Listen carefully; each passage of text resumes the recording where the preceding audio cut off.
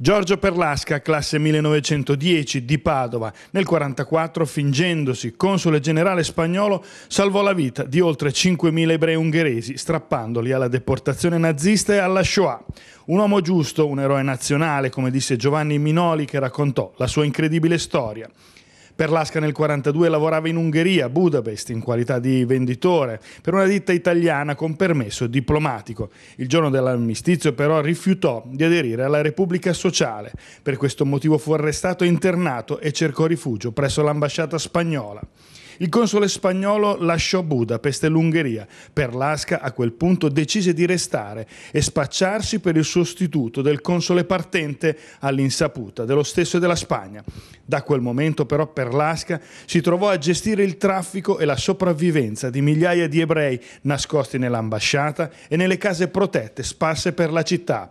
Perlasca rilasciò migliaia di finti salvacondotti che conferirono la cittadinanza spagnola agli ebrei, arrivando a strappare letteralmente dalle mani delle croci frecciate i deportati sui binari delle stazioni ferroviarie. Questa incredibile storia ora viene raccontata dal figlio nelle scuole italiane ed oggi era alla scuola Gandilio a Fano. Se non fosse stato per alcune donne ebree ungheresi che lo ritrovarono a fine degli anni Ottanta, la sua storia sarebbe andata dispersa. A me ha lasciato ovviamente questa avventura sia in Ungheria sia dopo un grande segno, mi ha cambiato un po' la vita se posso dire.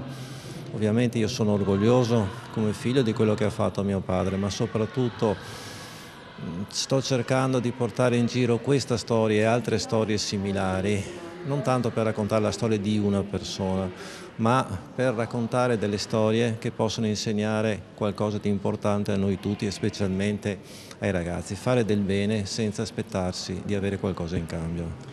È una pagina veramente importante perché io faccio mia una frase che è stata detta da un giornalista di Fano durante la conferenza stampa che avere direttamente una fonte storica è, cioè, è un'attività importantissima per i ragazzi, no? soprattutto perché eh, come ha già avuto modo di sentire dalle, dalle, parole di Franco Perlasca, avere una persona che racconti quello che ha vissuto, seppur eh, indirettamente, no? è una cosa bellissima, emozionante per i ragazzi. Perlasca, uomo giusto e semplice, a chi gli chiese ma perché ha fatto tutto questo? Lui rispose perché voi non lo avreste fatto?